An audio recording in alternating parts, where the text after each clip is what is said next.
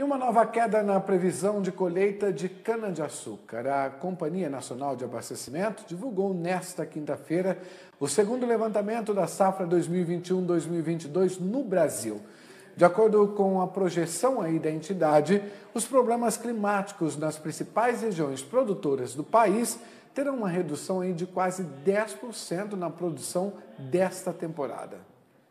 A expectativa é que nessa safra o país colha cerca de 592 milhões de toneladas, volume de aproximadamente 62 milhões de toneladas a menos que no mesmo período do ano passado. É, representando aí um volume de, da matéria-prima em torno de 9,5% menor do que foi a safra do 2021, que ela esteve em torno de 654,52 milhões de tonelada.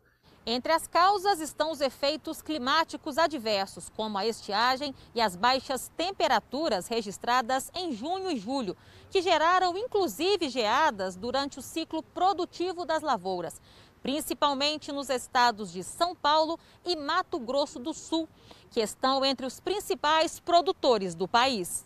A menor oferta da matéria-prima acarretará impactos nos derivados da cana, como a produção de etanol, por exemplo. É bom enfatizar que, em decorrência da baixa eh, redução da matéria-prima, nós teremos também, consequentemente, uma redução na, na produção dos derivados. Né? Então, na nossa expectativa é que o etanol ah, total seja produzido 29,22 bilhões de litros. É, o etanol apenas da cana-de-açúcar, ela está estimada em 25,86 bilhões de litros, uma redução de 13,1% em relação à safra 2021. A pesquisa para o segundo levantamento da companhia revelou que na região sudeste, principal produtora do país, houve redução de mais de 6% na área a ser colhida e decréscimo de 13,3% na produção que está estimada em pouco mais de 371 milhões de toneladas.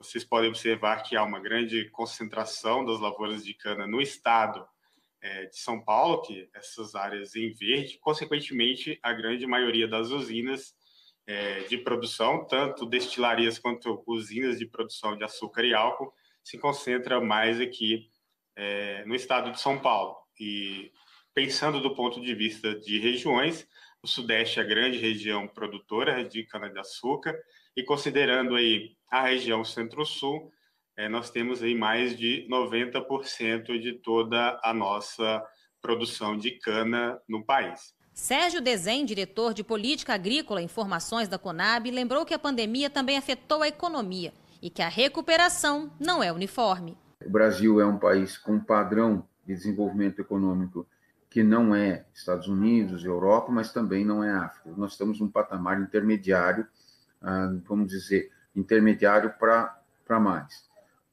Dessa forma, a gente vê que essa retomada afeta os países de maneira diferente. E a demanda de alguns fatores de produção né, são diferenciadas.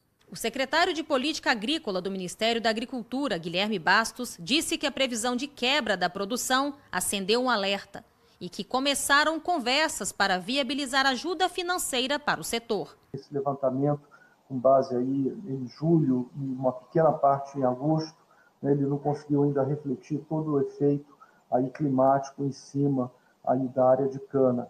Então, realmente, nós continuamos observando e acompanhando com muita atenção né, ainda a evolução das próximas estimativas. Nós já iniciamos aqui pela Secretaria articulação com as instituições financeiras aí para pensar em aí, algum tipo de auxílio para o setor né, no momento que a gente tiver aí essas informações mais apuradas é, referentes aí a esse a, esses efeitos aí combinados de seca e com.